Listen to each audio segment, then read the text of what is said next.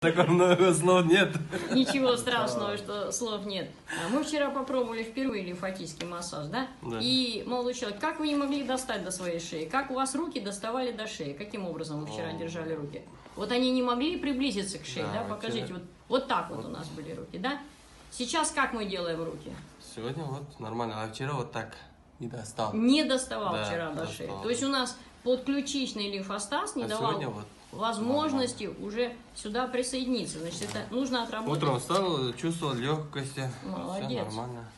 Но Вчера какое место болела. в голове болело самое криминальное место в Вот голове? эту сторону. Ага, значит, у нас получается, доктора, если мы имеем э, в данном случае левую гемисферу головного мозга, мы с вами смотрим и говорим, кишечник надо отрабатывать.